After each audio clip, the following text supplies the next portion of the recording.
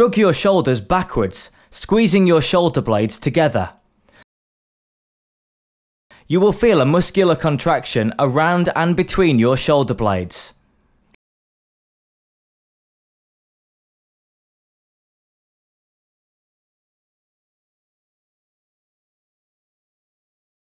Rhomboid and shoulder blade muscles.